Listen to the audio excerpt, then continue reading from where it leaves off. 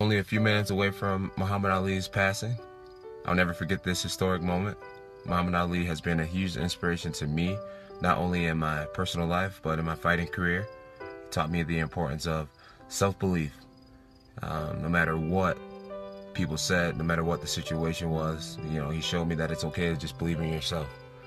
Um, he raised the bar for mankind, taught us the importance of standing up for what you thought was right. You know, Muhammad Ali was innovative. He's one of a kind. There'll never be another Muhammad Ali.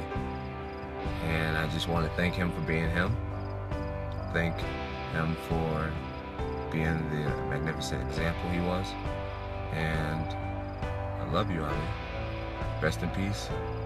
And uh, your family have peace. God bless. I do this video with great sadness, guys. I'm actually fighting tears right now. Um, I almost feel like Muhammad Ali was a blood relative to me. I watched so many of his fights. All week I've been watching his fights, and it's just, just the speed and just confidence that, you know, really inspired me.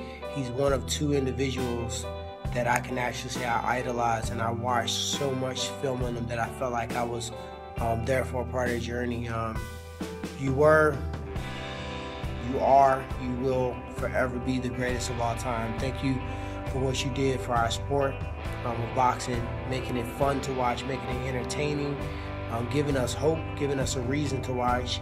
Um, all the things you stood for, both political, both as athletes, um, equality. You know, you were an amazing individual, amazing human.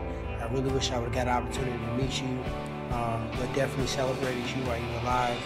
Rest in peace.